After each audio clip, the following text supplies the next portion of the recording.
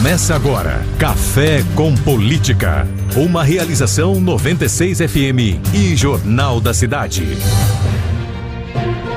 Olá, 7 horas e 32 minutos. Eu sou o economista Reinaldo Cafeu. Hoje, 12 de agosto, seja bem-vindo à vigésima edição do Café com Política. Sempre conosco o jornalista João Jabur. Bom dia, Jabur. Bom dia, Café. Bom dia a todos. Kleber Santos, consultor Kleber Santos, bom dia. Bom dia, Café. Bom dia a cada um que nos honra com a sua audiência. Ricardo Bizarra, bom dia. Bom dia, bom dia a todos. E hoje recebendo o advogado Milton Dota Júnior, ex-vereador de Bauru e conhecedor experiente tanto da política como do direito eleitoral, ele que também é advogado, como nós colocamos. Prazer em tê-lo aqui, meu caro Milton Dota Júnior. Bom dia, Reinaldo, Kleber, João, Bizarra. Agradeço a oportunidade de estar aqui com vocês. Bom, e o grande tema ontem que ocupou um espaço importante no noticiário nacional, regional, local e até internacional foi o ato ali, as manifestações pela democracia.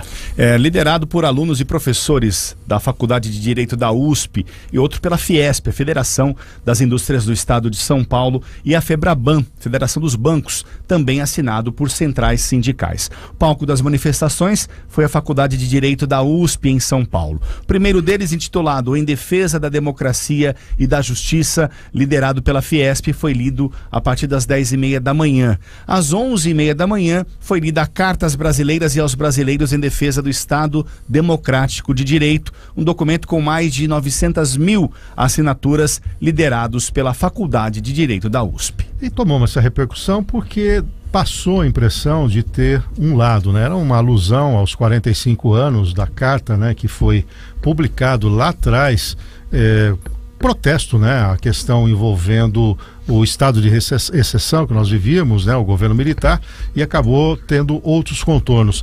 Milton Dota Júnior, você que é advogado, ontem foi o dia do advogado e essa carta tem também esse lado histórico, acabou tomando uma dimensão maior do que os próprios autores da carta, com uma assinatura de quase um milhão de pessoas. Qual foi a sua avaliação sobre a carta e o ato em si no dia de ontem? Bem, eu vejo que a carta é um contraponto à carta de 77, né? É uma reedição que lá em 77 a carta é de agosto, mas em abril de 77 teve o pacotão de abril, né? Do general Ernesto Geisel. A carta foi um contraponto a, a, aquelas medidas que o regime militar eh, tomou em abril de 77. Eu vejo que a carta ela vem em boa hora para demonstrar que é um caminho é, do equilíbrio das forças antagônicas que se apresentam aí no cenário nacional. Lembrando que o documento lá em, em, há 45 anos foi redigido pelo jurista Gofredo da Silva Terli Júnior. Ele repudiava na oportunidade o regime militar que vigorou no Brasil entre 64 e 85.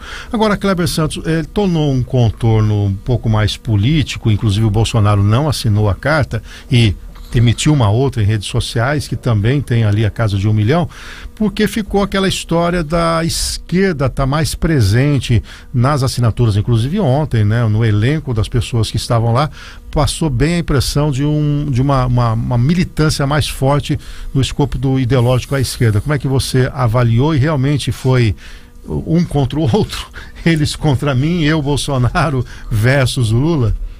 É, eu, eu acredito que a iniciativa é muito positiva, é uma manifestação a favor da democracia e toda, é, é, toda, toda ação nesse sentido tem que ser extremamente apoiada e incentivada, né? principalmente em favor da, da, do Estado de Direito, enfim, tudo aquilo que a gente já sabe. É o que, do ponto de vista sempre do marketing da comunicação, uhum. que eu vejo assim que empanou um pouquinho tudo isso é realmente essa é, tornou-se acabou tornando-se uma manifestação política também porque uhum. se viu muito é, é, a, a, o fora Bolsonaro eu acho que saiu um pouco do contexto diante de uma situação dessa né porque aí você já mostra que é um lado e não o outro lado que está presente então essa conotação é, é, política que acabou, eu, eu creio que tirou um pouquinho desse brilho total, né? Agora, é, à luz da ciência política, Bolsonaro utiliza o clássico discurso é, populista com falas fortes de enfrentamento para manter a militância aquecida. É muito mais, na minha opinião, retórica, e isso acontece frequentemente, tanto em governo de direita quanto de esquerda. Eu me lembro que o Haddad já ameaçou mexer na Constituição, o Zé Dirceu falou em tomada do poder com controle do STF e do Ministério Público Federal. E Bolsonaro ataca a imprensa, as minorias e as instituições representativas da democracia. Mas, na minha opinião, tudo isso não passa de discurso populista, porque todos sabem que o Brasil conta com parlamento, com judiciário, com uma imprensa forte permanentemente aposta para impedir qualquer re retrocesso democrático no nosso país. Creio que ah, quando você está numa campanha política, você fica observando tudo aquilo que te favorece ou favorece um lado ou outro. Então eu acredito que isso está acontecendo realmente algo importante, porque é a favor da democracia, e por outro lado, tem um aproveitamento político aí também. Agora, Kleber, só para fechar na ótica do marketing, você acha que esse tipo de manifestação chega no eleitor lá na ponta, esse sujeito que acorda 5 horas da manhã, pega um ônibus e é o que decide a eleição, você acha que ele está de olho ele está meio cansado também desses embates ideológicos aí? Porque a gente percebeu a elite, a elite eh, do empresariado, a elite do judiciário, a elite da imprensa e tudo mais, até onde isso tem eh, ressonância ali, chega até o cidadão comum. Uh, se a economia continuar melhorando, vai aumentar consideravelmente a intenção de voto para o presidente Bolsonaro. Independentemente Independente, porque as pessoas associam a situação econômica com a imagem do presidente. É isso que vai acontecer. Jabur, você que é, tem muita experiência na imprensa, né, e a gente observou uma grande cobertura deste ato e não deu tanta repercussão à carta do próprio Bolsonaro em redes sociais. Você acha que tem dois pesos, duas medidas ou o fato de ontem, o ato de ontem, merecia o destaque que a imprensa nacional e internacional deu? É, eu acho que tudo merece destaque, a carta do Bolsonaro, são fatos políticos importantes. O 7 de setembro que vem aí, convocado pelo Bolsonaro, vai merecer uma cobertura ampla também. Claro, tem as preferências, mesmo na imprensa tem as preferências, todos aí sabem disso, tem aqueles que fazem uma cobertura maior, outra menor, enfim, isso é, é, é extrapola até o período eleitoral. Agora, sobre o ato em si, é, Kleber, é, Dota, eu acho assim que ele teve um, um caráter muito mais de, de simbolismo em defesa de instituição do que é, a, intenção de, de, desgastar esse ou de favorecer aquele em função de ter sido uh, levantado o perigo, ou, ou, não sei nem se era tão é, é, perigoso assim, o, o que o, o, Bolsonaro andou declarando sobre democracia, esses movimentos todos que remetem a uma possibilidade de golpe. Eu, eu, eu nunca achei isso é, algo assim concreto, até porque o próprio Exército, as Forças Armadas, nunca deram muita guarida a esse tipo de ideia. Né? O Bolsonaro é, é um, um, um, político de retórica, é um político que joga muito com, com, com, com a, as narrativas. E, e, e, acho que não tinha tanto é, é a intenção, ou se tinha também, já logo percebeu que não havia espaço para golpe. E aí as elites, como você disse, Cafeu, a elite financeira, industrial, a própria elite é, aí da, da, da, da, academia, né? É, ela acabou marcando uma posição justamente para para poder garantir um ambiente de estabilidade, porque o que interessa, inclusive para as elites, aliás, uma, uma boa parte dessas elites que fizeram esses atos ontem, essa carta, votam no Bolsonaro, votaram e vão votar de novo certamente, mas Uh, tem ojeriza, você economista sabe disso, tem ojeriza ambiente conturbado a excepcionalidades, Sim, né? Claro. Uma excepcionalidade como essa de uma, uma, uma, uma instabilidade institucional não interessa para ninguém, independentemente de quem seja o, o, o, próximo presidente da República. Então, eu acho que é, foi uma marcação de posição para dizer o seguinte: vamos seguir com a eleição, como o Milton falou também, é, vamos seguir com a eleição de uma forma equilibrada, mais pensada ao centro daquilo que une o país, daquilo que faz o país avançar, né? Acho que foi um grande recado é, para todo do processo político e pelo processo eleitoral também. Esse foi o peso para mim dessas manifestações. Muito bem. E ontem saiu uma pesquisa da Genial Quest com intenção de voto para o presidente. Você tem esses resultados aí de ontem ou não, o Jabu? Eu estou aqui com uma não, informação nós, só do Estado de São Paulo, mas ontem temos... à noite foi divulgada uma, nós vamos trazer já já, Eu vou que é a mais aqui. recente que nós temos.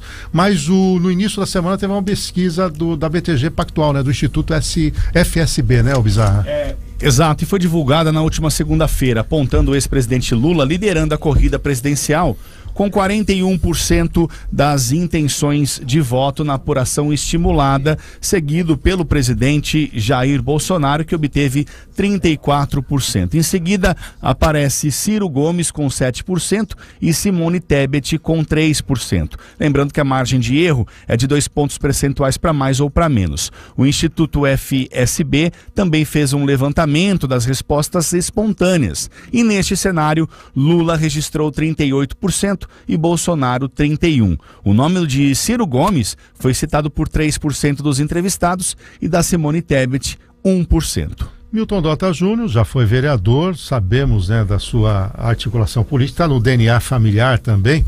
Como é que você vê essas pesquisas? Né? Há quem duvide delas e tem outros que entendem. Não, é um retrato momentâneo e, como tal, tem que ser encarado. Nós temos aí um tiro curto até o dia 2 de outubro, mas a campanha para valer não foi para campo ainda. Começa na terça-feira, inclusive, a campanha oficial em rádio e TV, mais para o fim do mês. Qual é o, a tua leitura quando você se depara com esse tipo de pesquisa, vendo, observando, inclusive, que se elas forem verdadeiras, há uma tendência de alta do Bolsonaro estabilidade estabilidade ou pequena queda do Lula, eh, diminuindo a diferença entre os dois? Bem, é, a, eu acompanho muito o Instituto IPESP, do Marcelo Lavareda. E eles têm uma análise no sentido de que a, a, quem declara voto a qualquer um dos, dos dois candidatos que estão na frente, dificilmente mudarão o seu voto. É. Me parece, é, Cafeu, João, Kleber, que a eleição vai ser decidida na abstenção. É, é um fato que tem crescido, é uma posição que tem crescido nas últimas eleições. Historicamente, a abstenção sempre foi na casa dos 12%, 15%. A última ultrapassou os 30%, chegando em alguns pontos em até 40%. Então, nós não conseguimos é, diagnosticar numa pesquisa a abstenção. É. é. esse é o grande problema. Você tem Nenhum que ele... você não vai votar, ah, não é, vai Você responder. vai comparecer à urna, essa é. questão ninguém levanta, né? O branco e nulo sim, né? Perfeitamente. Mas a abstenção não. A abstenção é um, é, é, um, é, um, é um ponto que nós temos que é, monitorar constantemente e para isso estamos aqui, para fazer sensibilizar o eleitor que é importante comparecer às urnas. Né? É um ato cívico, é onde nós escolhemos os nossos dirigentes. Então eu vejo que, é, para concluir esse ponto, é, a abstenção é que poderá decidir a eleição em 3 de outubro. E essa abstenção, Kleber, tem a ver muito com o dia, com a disposição por votar, com a multa que é pequena. Eu acordei de manhã, o sol tá legal, vou para piscina, vou viajar para praia. O que que o que leva à abstenção? Porque antigamente a, a, revolta era manifestada no voto impresso, né? Colocava lá cacareco, botava uns nomes, né? E agora teria que ser na urna eletrônica. E o voto de protesto normalmente é em alguém caricato, né? Veja o fenômeno Tiririca, né? É, foi eleito dois mandatos, inclusive. Como é que você vê a, a, essa possibilidade da abstenção e dentro desse raciocínio do Milton Dota Júnior de que ela é que pode efetivamente decidir ou não as eleições? É, a abstenção tem, tem pouco de tudo isso que você falou, mas principalmente é culpa do político que não, que não convence, que não, que não conquista o coração do eleitor, né? Então é, ele tem que, tem que dar, dar motivos para o eleitor levantar do sofá e ir lá votar. Se você não me dá motivo, o que, que eu vou fazer? Por que, que eu vou. Entendeu? Então, o que eu acredito é que tem que melhorar cada vez mais essa comunicação do político para que a, a, pessoa entenda que ele pode trazer, pode resolver muito o problema dela, como ele pode contribuir bastante. Eh, os, os problemas e os desafios da cidade, do município, do, do, do país. Então, é importante e eu atribuo em boa parte ao político, ao candidato, que deveria ter uma mensagem mais forte, mais convincente e, como já dissemos aqui, tocar no coração. Se não tocar o coração, não adianta. Não é com retórica racional, não é com números. É, ele tem que convencer e mostrar que ele está preocupado, ele tem um porquê, ele tem uma causa. E, e o que a gente vê é que boa parte dos políticos não tem causa nenhuma, ou pelo menos não apresenta essa causa. O que convence o eleitor é ver que aquela pessoa. Eu vou falar uma coisa aqui muito interessante.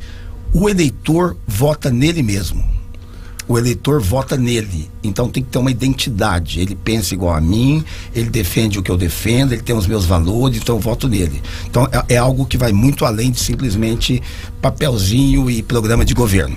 E, e, Kleber, analisando um pouco essa polarização e quem não está muito aí ligado nessa polarização, quem não defende o partido A ou B, você não acredita que para essa eleição nós teremos um número recorde de votos brancos e nulos?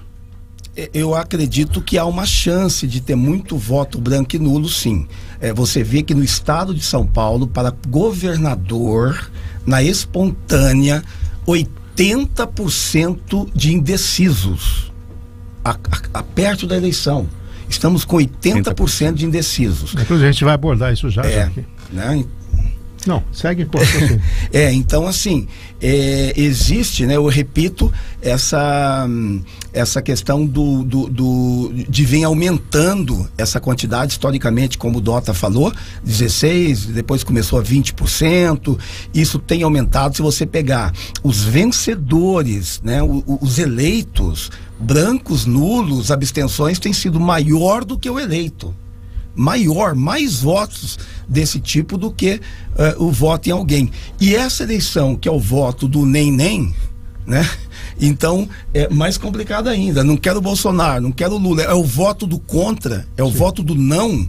Então a motivação para ir até a urna votar é menor ainda, é menor ainda em função disso. Agora, os polarizados, os militantes, as duas torcidas, elas vão. Essas aí vão mesmo. Agora, Jabur, além da questão da abstenção, além do voto branco e nulo, tem um convencimento também do jovem. Nós tivemos uma grande campanha para que os jovens pudessem se inscrever e o voto é facultado para eles entre 16 e menos de 18 e também os idosos, né, acima de 70 anos.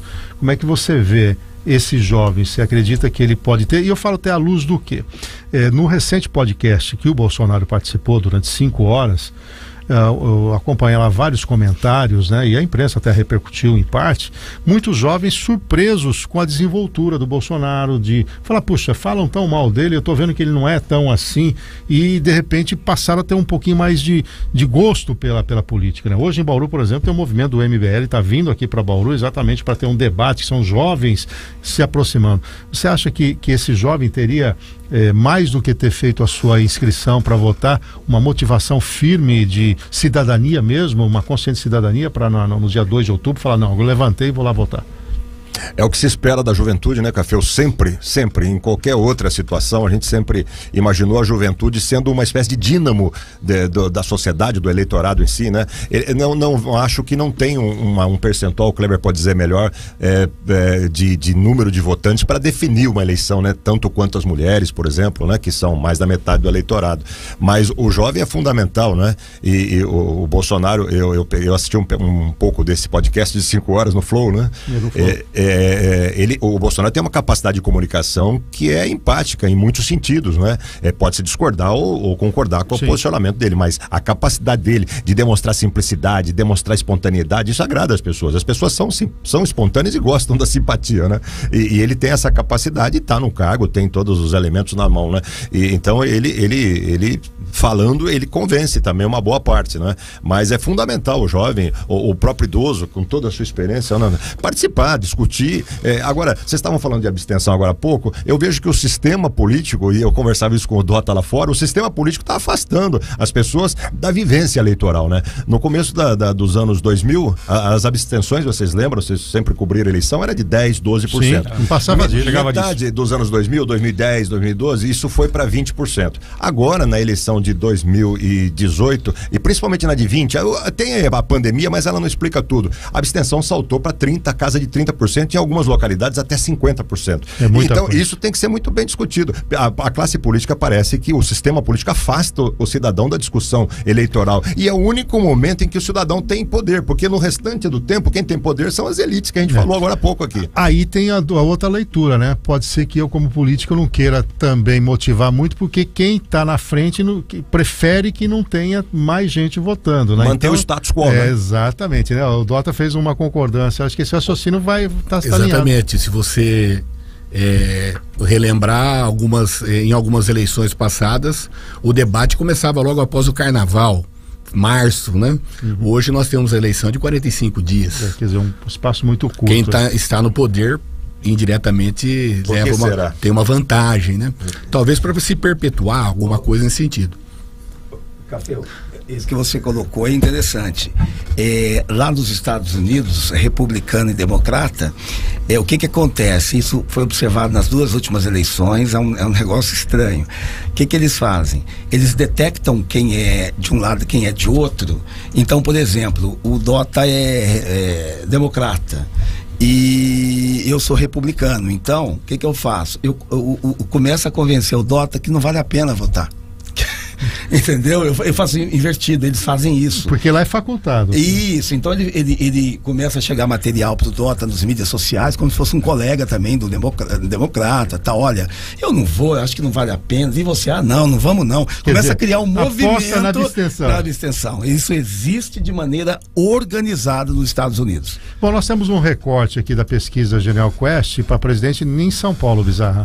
Pois é, olha, a encomendada pela Genial Investimentos e divulgada ontem mostra Bolsonaro crescendo 10 pontos desde março e empatando agora tecnicamente com Lula no estado de São Paulo. Bolsonaro agora tem 35% contra 37 do petista. Na pesquisa espontânea, que identifica ali os votos mais consolidados, Lula tem 27 e Bolsonaro 26. Esse movimento acentua a tendência revelada pelas pesquisas nacionais dos institutos Quest e Datafolha que saíram saíram nas semanas anteriores. E aqui, e aqui né, Dota Júnior, é um recorte de um Estado que não tem apostado no PT, né? É um Estado que foi governado pelo PSDB todo esse tempo. Tivemos aí uma pequena alternância quando o vice assumia, que é o caso do Márcio França, e o PT nunca emplacou a um conservadorismo maior no interior. Não sei se você faz essa mesma leitura e essa pesquisa da Genial, de alguma maneira, está retratando isso. Né?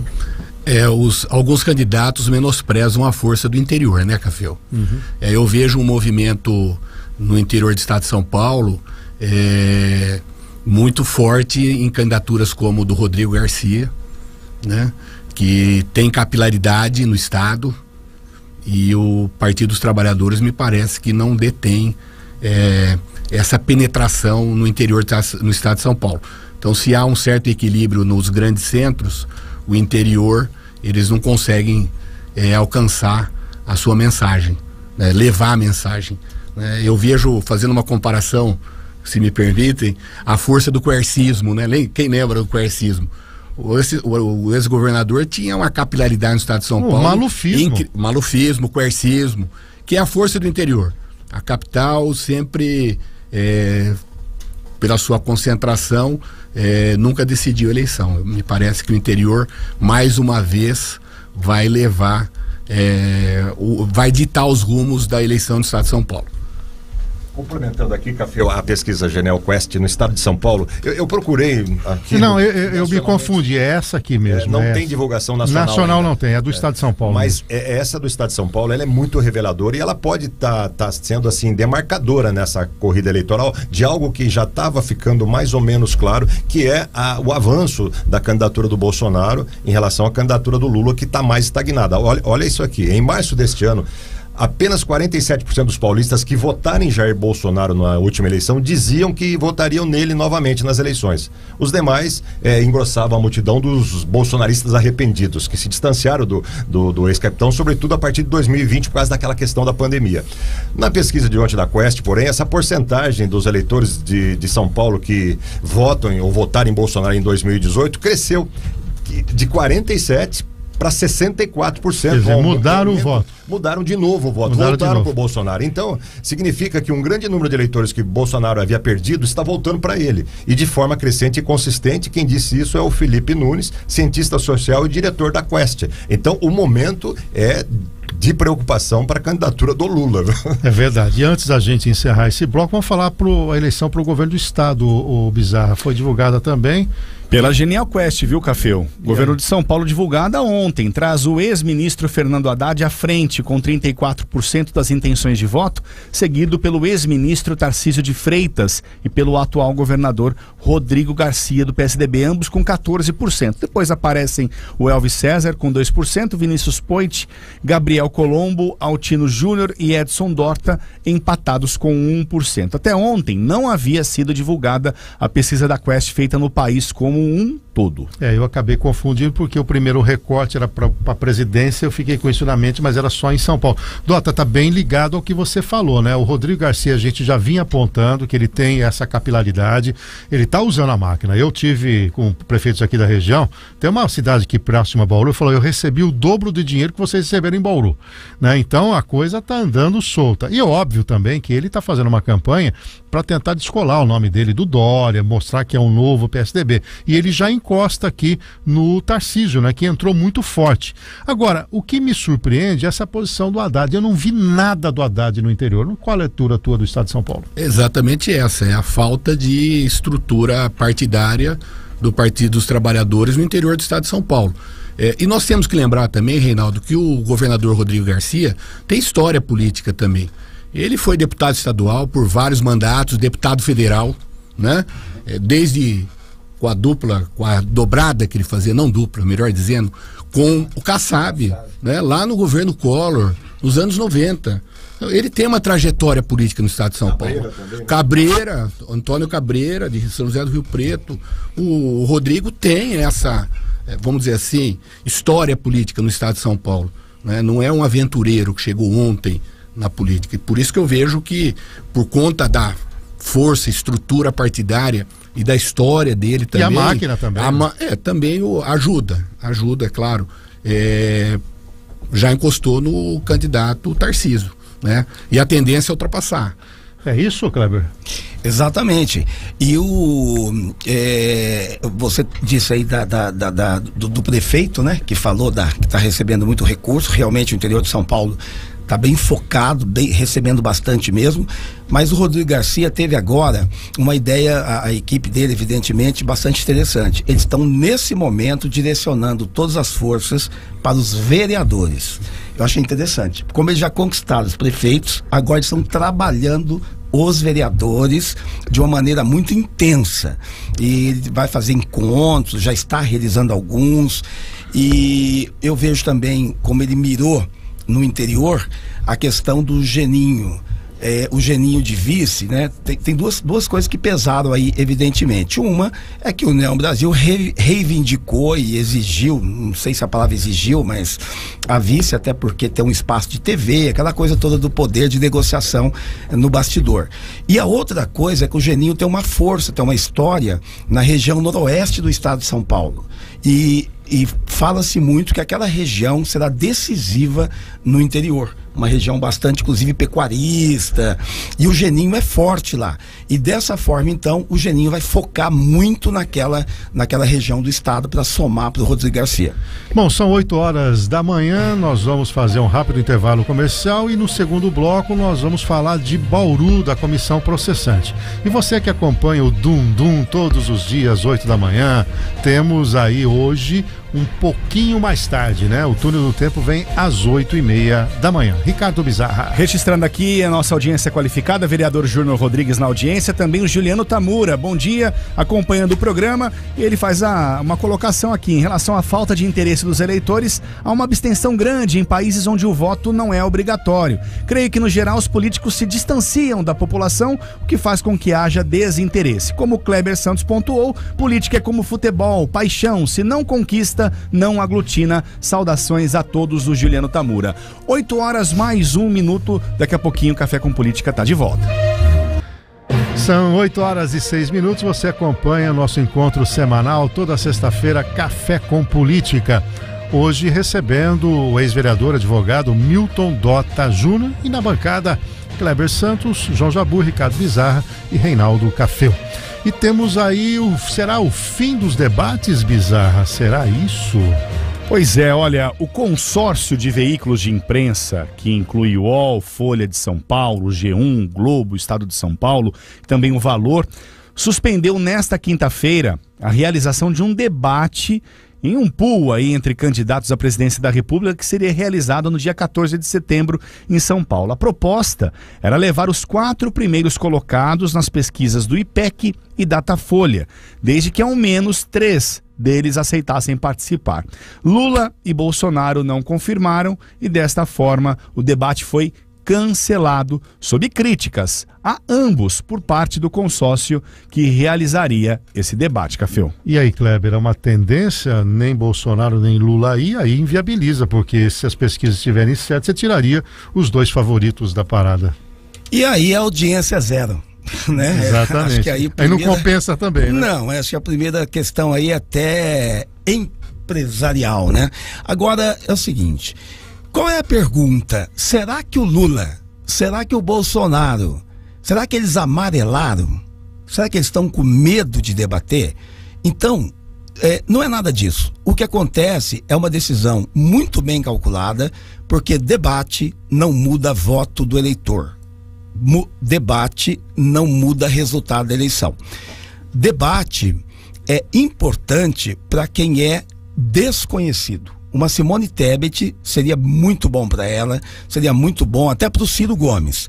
Agora, o que ocorre no debate é que é, é, um show, é um espetáculo por fazer parte até de uma televisão. A televisão nasceu como, como show, como espetáculo. Até porque em um minuto, em 30 segundos, é muito gessado a regra. Não dá não dá para explicar nada, não dá para falar nada nesse tempo tão curto, né? Então, é, é, é, é, assim, na verdade, é uma disputa entre quem domina a comunicação, quem sabe começo, meio e fim responder dentro de um tempo dentro, dentro de um tempo dentro de um, um tempo, tempo, bem pequenininho então é treinamento debate é treinamento. O melhor treinado leva. Agora audiência do debate é torcida. É Corinthians e Palmeiras, Flamengo e Fluminense. Normalmente quem assiste é quem está torcendo. E ele assiste justamente para confirmar aquilo que ele já acredita, aquilo que ele já entende, aquilo que ele já. Então ele está ali é, é, é, é para confirmar aquilo que ele já pensa. Né? Então debate é, é, é isso. Então por isso que eles não estão indo e deve haver aquele pool um final aí pode ser que aconteça, que é algo que acontece, como a gente já colocou aqui nos Estados Unidos, que une todo mundo. Existe uma comissão que faz o debate e todos entram em cadeia para transmitir de uma vez só. Mas é isso que eles, eu creio que o que motivou tanto Lula quanto quanto Bolsonaro é justamente a questão de saber que não vai influenciar nada no caso deles.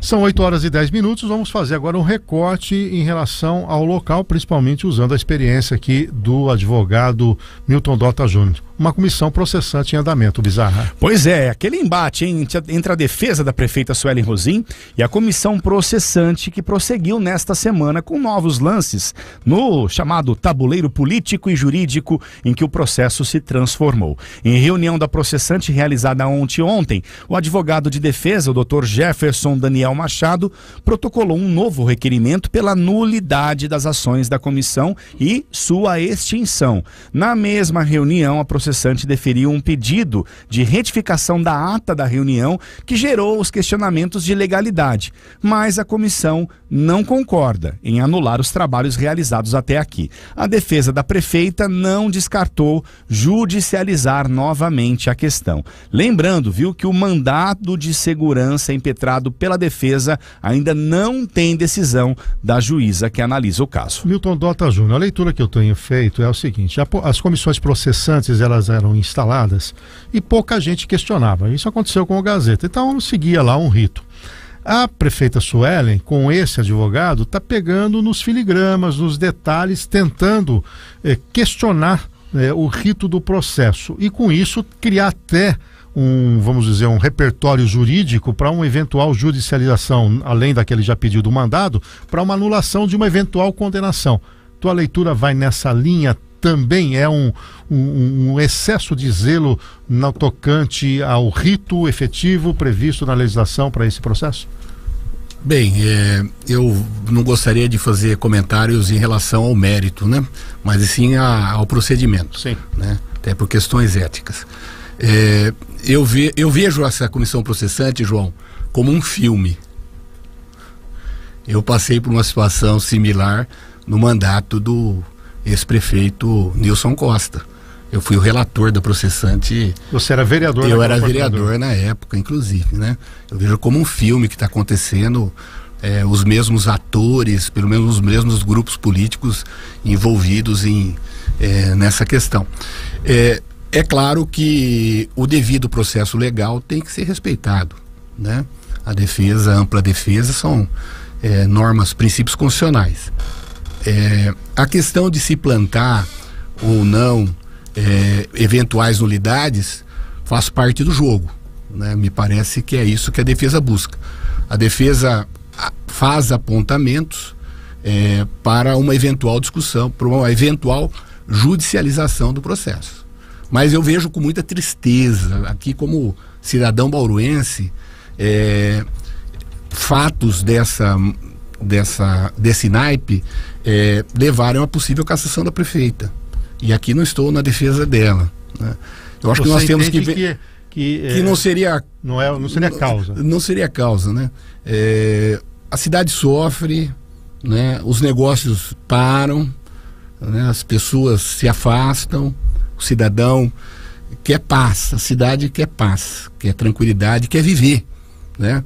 Quem me usou, quem usou essa expressão, o cidadão quer, que, quer viver, lá em 2003, quando teve a processante do ex-prefeito Nilson Costa, foi o Monsenhor Enedir.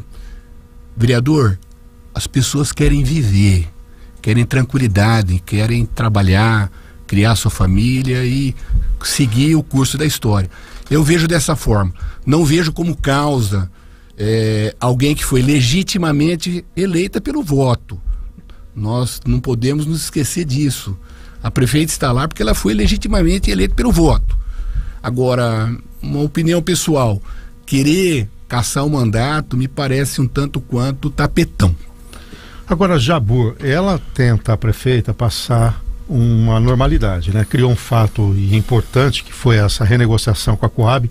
Tudo bem que é um processo que se arrasta há muito tempo, mas teve o mérito da equipe dela de batalhar, teve o apoio do legislativo através do Meira, né? O Canova faz um excelente trabalho. E na própria terça-feira ela tem, se tudo correr normal, o seu depoimento. E à noite, para mostrar essa normalidade, né, e a própria Entrelinhas traz isso, é, lança a candidatura da mãe e do vice, como se dissesse: oh, eu vou ali fazer um depoimento e isso não vai me abalar à noite, eu vou comemorar ali o lançamento da candidatura. Dá a impressão que ela quer trabalhar nessa normalidade e deixar esse jogo mais pesado para o advogado. Tem, tem razão, Café. Sem dúvida nenhuma, ela tenta dar um ar de normalidade para o governo é, em, em, paralelo à, à decisão de manter a pegada jurídica da defesa, né? Da, a, a, defesa dela até agora não foi política, não foi é, administrativa, não foi, é, talvez a partir de terça com o depoimento, não sei, mas a, a, decisão é vamos anular essa CP de alguma forma, né? E o advogado tem buscado elementos para isso, como disse o Milton, com todo o direito, é, é, para isso existe advogado, para isso existe o um processo legal, a política está submetida também ao processo, ao devido processo legal que rege todo o país país, todas as atividades, né?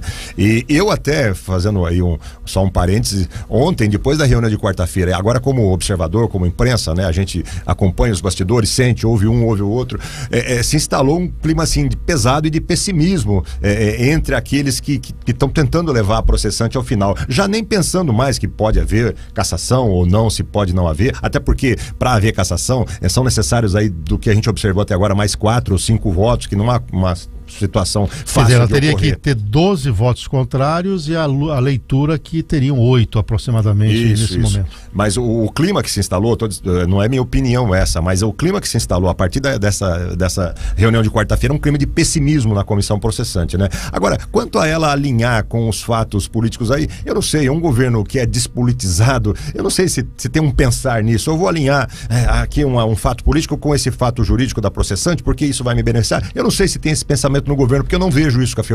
Eu vejo que é um governo assim que é de tentativa e erro. É, é, é acerta numas e erra em outras. Porque... O que tiraria aquela teoria da conspiração para algumas coisas, né? Por exemplo, essa história do lixo aqui, pô, construíram, eu vou repetir, né?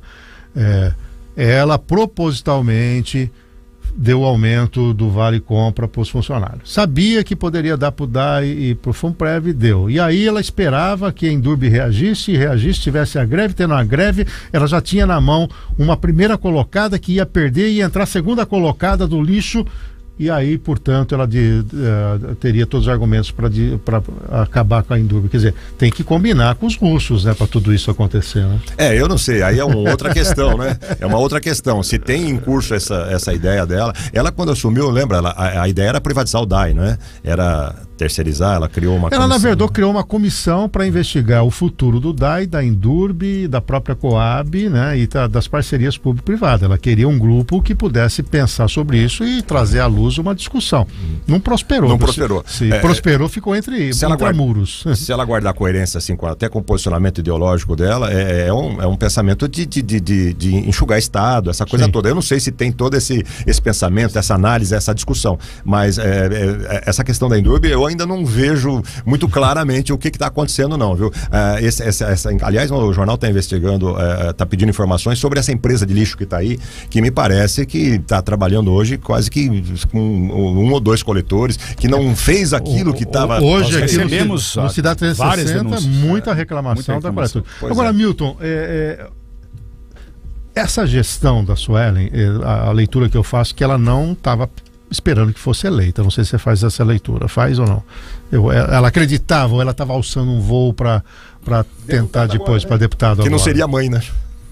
Eu Qual vejo que havia perspectiva. É, você acha que sim? Havia tendência. As pesquisas indicavam. Não, não, digo, mas no início, a hora que tomou a decisão, olha, eu tenho chance real. Porque eu, eu percebi que o plano de governo dela não era consistente. A, a, a eu estava na 94 na época, as sabatinas, ela não, você não tinha o que tirar dela e depois deu a impressão que ela foi. Aqui também, né, Bizarra? Você entrevistou, e, e, e depois veio a construção. Dá a impressão, não sei se você tem essa leitura, de um pouco de tentativa e erro na gestão. Não sei se é isso, se eu estou exagerando nessa, nessa leitura. Me parece que é aquela coisa meio de administração de, de bombeiro, ó, tem um fogo aqui, vamos lá.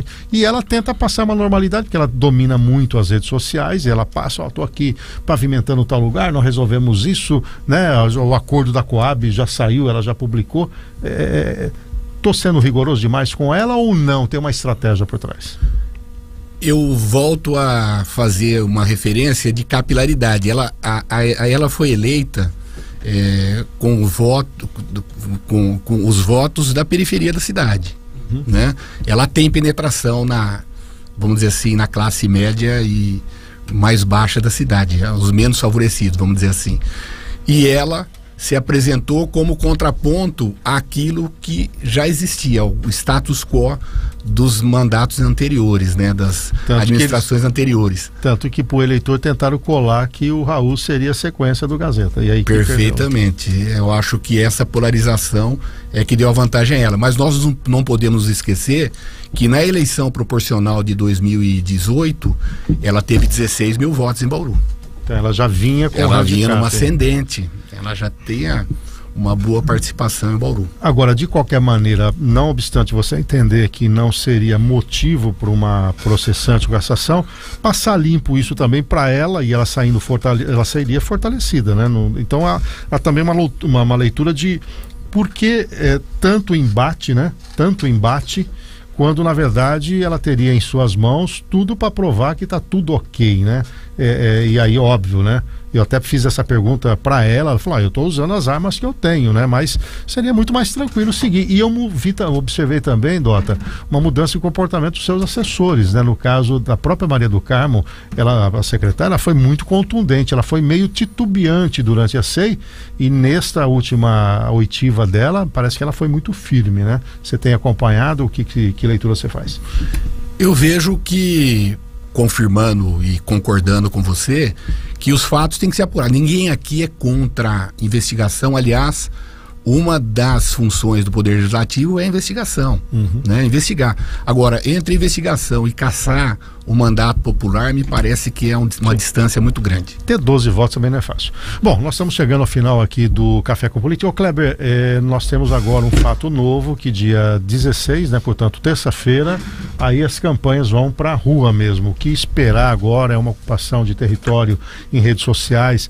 O massacre demais em redes sociais pode ser contrário. Faz uma leitura aí rápida do que, que nós podemos esperar a partir do momento que a campanha vai para a rua. Lembrando que em rádio TV mais no fim do mês. Exatamente.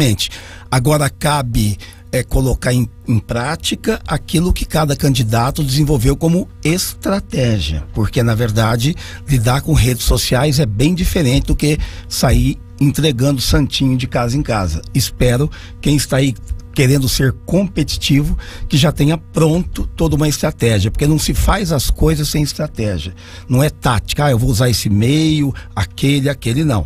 É esse tudo que é usado a forma com que é conversado com o eleitor, a, for a forma como que é levada a mensagem, ela tem que estar dentro de algo planejado como qualquer coisa. Você que é economista e Sim, claro. brilhante, competente economista, você sabe muito bem que tudo é planejamento. Sim. E assim a política também. É, quem anda, continua fazendo é campanha aos trancos e barrancos, achando que é como era antigamente, vai dançar, pode Nossa, ser de primeira vez ou vai dançar de novo.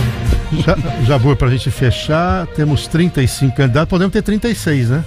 É, só atualizando a, a lista em relação à semana passada, né? Subiu para 35 o número de candidatos e é bem possível que surja mais um. A gente não pode ainda revelar, mas é, a partir de amanhã. É porque tem até candidatos. o protocolo é até o dia 15, não. né? Não, vai, vai, vai surgir um nome, um nome que tem boas que chances. Tem peso, aí. É. Tem peso aí. Nós estamos sabendo desses bastidores, é. mas não podemos divulgar. Até aquela, dia 15. Aquela música do Roberto Carlos, né? É. Só isso. A partir do dia 15. Eu voltei. voltei. É, a, partir, do dia 15, 15 não, aí não muda mais. Né? Não muda mais. A então, não perfeito. ser impugnações e coisas do tipo. Né? Milton Dota Júnior, foi um prazer reencontrá-lo. Obrigado por estar conosco aqui. Nesta jornada, certamente contaremos aí com a sua presença, porque vamos fazer uma grande cobertura e vamos precisar interpretar tudo que está acontecendo na política nacional e regional e estadual. Eu que agradeço o convite, rever velhos amigos, Reinaldo, Kleber, João, e aqui conhecendo pessoalmente o Bizarro. Bizarra. Bizarra. Né? Agradeço a oportunidade, estou à disposição sempre para participar dos debates com vocês. Jabur, bastidores fervendo, a equipe trabalhando para trazer sempre a melhor informação. Isso mesmo, e nos alinhando já para o dia 2 de outubro, né? Bom dia a todos. Kleber Santos, vai dar trabalho essa eleição, hein, Kleber? Vai, vai, que bom, né? Que bom, né? para nós que trabalhamos, e é sempre bom ter, ter, o que fazer bastante e intensamente. É, bom dia para você e um ótimo final de semana para você que nos acompanhou aqui no Café com Política. Quer rever esse programa e as outros que nós já tivemos no canal do YouTube, tanto da 96 FM como do Jornal da Cidade, você vai ter a edição completa e os pequenos também recortes, né? Daquilo que nós trabalhamos, a equipe está preparando. Nós vamos voltar na segunda-feira com o Cidade 360, das 6 às 8. E você sabe que toda sexta-feira, às 7 e meia, você tem um encontro aqui com o Café com Política. Ricardo Bizarra, o que vem por aí na 96 FM? Muito bem, fechou aqui então mais uma edição do Cidade 360, não. ou melhor, do Café não. com Política, não. e o Cidade 360, que volta na próxima segunda-feira, bem cedinho, a partir das 6 horas da manhã. A gente volta na segunda. Tchau, tchau.